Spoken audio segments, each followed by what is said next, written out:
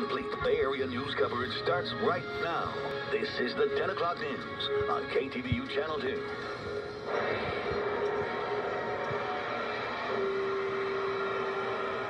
This was the scene just about an hour ago in New York's Times Square, the iconic ball drop to ring in 2013. Good evening. I'm Gasia Mikaelian. And I'm Frank Somerville. Julie is off tonight. It's just two hours and counting until 2013 here in the Bay Area. And boy, the crowd is really starting to gather along San Francisco's waterfront.